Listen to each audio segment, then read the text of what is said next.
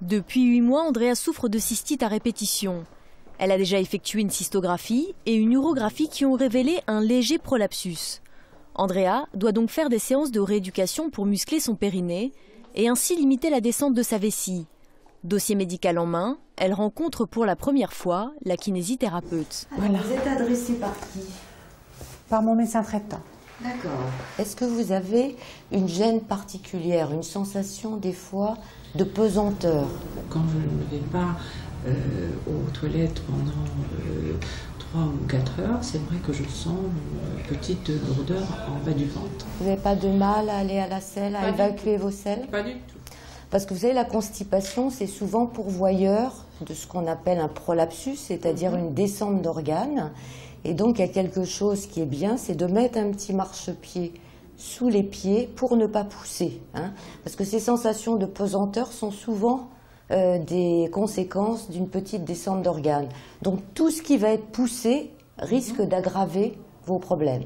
Donc, aujourd'hui, ce qu'on va vous proposer quand même, c'est de faire une petite rééducation Hein, périnéal.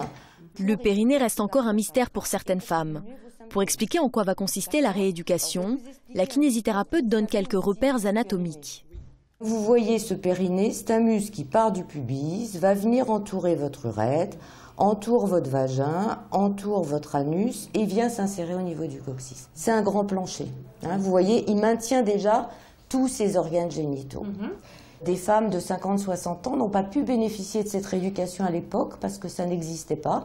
Et donc souvent, euh, il y a une méconnaissance de cette région périnéale, donc ça c'est important. Quand vous toussez, vous poussez, vous éternuez, vous courez, c'est retransmis au niveau de la vessie. Et là, ce périnée, ça va être un véritable trampoline qui va essayer d'amortir ces pressions.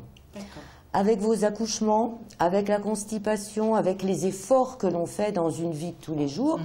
et puis aussi avec la ménopause, la chute hormonale, eh bien insidieusement, par tous ces efforts, cette vessie, vous voyez, a glissé un petit peu et du coup entraîne ces sensations de poids, de pesanteur qui vous gênent. Ce muscle, non seulement il va falloir le remuscler, le rééduquer, mais il va falloir que vous vous en serviez. C'est-à-dire qu'avant chaque effort, il va falloir contracter, tousser, contracter, porter, contracter, éternuer. Ces exercices, Andrea devra les appliquer au quotidien. La kinésithérapeute lui propose aussi une autre technique qui permet de ne pas trop solliciter la vessie.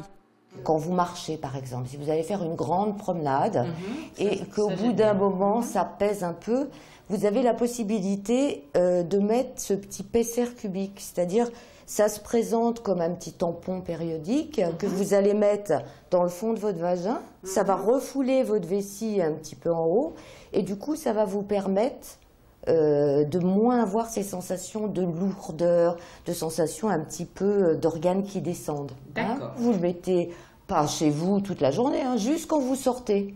Vous verrez, ça va, euh, ça va éviter.